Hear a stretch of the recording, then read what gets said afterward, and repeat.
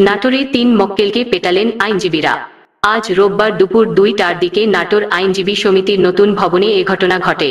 আইনজীবীদের হাতে বিচার প্রার্থীকে মারধরের একটি ভিডিও ছড়িয়ে পড়েছে সামাজিক যোগাযোগ মাধ্যমে। ভুক্তভোগী খালেকুজ্জামান লালন, সাইদুজ্জামান লিখন এবং আসাদুজ্জামান লিমন নাটোর লালপুর উপজেলার বাসিন্দা।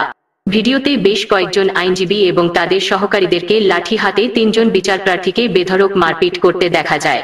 আইনজীবী এবং প্রত্যক্ষদর্শীরা বলেন, লালপুরের পারিবারিক জমি নিয়ে মামলায় দুলাভাই এবং শ্যালকের মধ্যে বাগবিতণ্ডা হয়। এক পর্যায়ে আইনজীবী শাহ মকদুম রূপসের মক্কেল আব্দুর রাজ্জাকের সঙ্গে তার শ্যালক লালন, লিমন এবং লিখনের মধ্যে ধস্তাধস্তি হয়। পরে আব্দুর রাজ্জাক আইনজীবী শাহ মকদুম রূপসকে গিয়ে নালিশ করেন যে তাকে তার মামলার বিবাদীরা মারধর করেছে। ঘটনা শুনে আইনজীবী শাহ মকদুম রূপস তার মক্কেলকে মারধরের বিষয়টি জানতে অ্যাডভোকেট দীনেশ চন্দ্র মণ্ডলের মক্কেল লালন, লিমন এবং লিখনকে জিজ্ঞাসাবাদ করতে গেলে শাহ মকদুম রূপসের সঙ্গে তর্কে জোড়ায়। এ সময় অন্যান্য আইনজীবী এবং আইনজীবী সহকারীরা মোহরার, লালন, লিমন এবং লিখনকে কিলঘুষি এবং লাঠি দিয়ে মারধর করেন। শাহ মকদুম রূপস বলেন, বিবাদী লালন তার দুলাভাই আব্দুর রাজ্জাককে চড়থাপ্পড় দিয়েছেন। পরে লালনকে গিয়ে আমি বকাবকি করি কারণ সে লালন আমার বন্ধু। এতে হাসানুজ্জামান সৈকত সহ আরও আইনজীবী এবং তাদের সহকারীরা লালনকে মারধর শুরু করেন। আমি বাঁচাতে গিয়ে নিজেও আহত হয়েছি। বিষয়টাকে অপ্রত্যাশিত এবং মানসম্মানের ব্যাপার বলে মন্তব্য করেন তিনি। অ্যাডভোকেট হাসানুজ্জামান সৈকত বলেন, আমার একজন সহকর্মীর সঙ্গে তার মক্কেলরা খারাপ ব্যবহার করছিলেন। আমাকেও দুইবার ধাক্কা দিয়েছেন। এ কারণে আমি আমার আইনজীবীর পক্ষে ডিফেন্স করেছি। ভুক্তভোগী খালেদুজ্জামান লালন বলেন, আমার বাবার মৃত্যুর পর দুলাভাই আব্দুর রাজ্জাক সম্পত্তির ভাগ চাইছেন।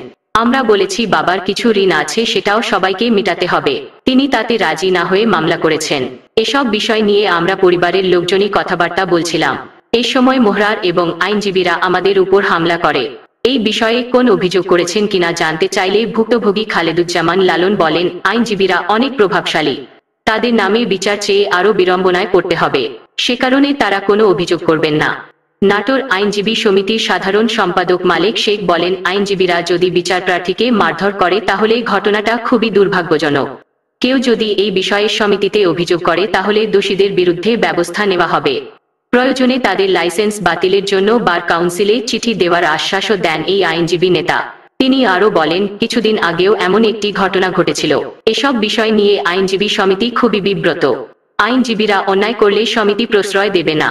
নাটোরের সদর থানার officer in charge Mohammad Mizanur Rahman বলেন, আইনজীবী সমিতিতে মারধরের ঘটনা শুনে দ্রুত ঘটনাস্থলে পুলিশ পাঠিয়েছি। পরে আইনজীবীরা বলেছেন, বিষয়টা মিটমাট করে দিয়েছেন।